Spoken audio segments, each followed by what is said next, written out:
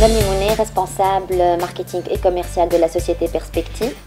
Donc voilà, on est là pour le salon Perspective, salon des hautes études et formations internationales, stage et premier emploi. Ce salon il est organisé euh, par le cabinet Perspective, qui est un cabinet spécialisé dans la formation professionnelle, euh, d'aide à l'orientation, de conseils et services dans le domaine de l'enseignement supérieur.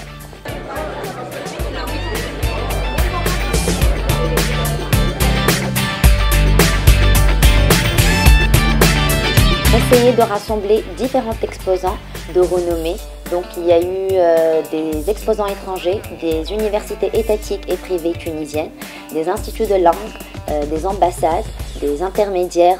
Euh, donc voilà, on a essayé d'avoir, de toucher différents domaines, différentes spécialités pour qu'il y ait une information déjà accessible, une information claire et précise sur un même lieu euh, pour qu'il y ait un réel échange et une réelle satisfaction euh, des différents visiteurs.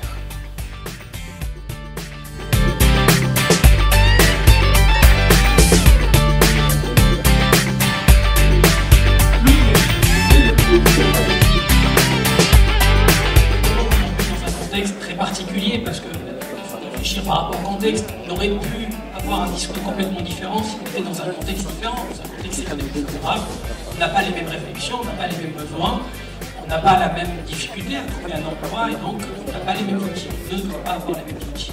Lorsqu'on regarde, j'ai mené amène l'innovation qui elle-même amène un besoin en, d'autres compétences. Je vais passer euh, à l'entrepreneuriat et au micro-entrepreneuriat.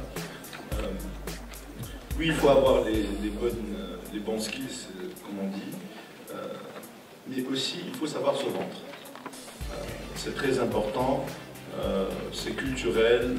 Ces, ces métiers-là, comment les prévoir? Et deuxièmement, comment, même si on les identifie, on les connaît, comment traduire tout ça en programme de formation?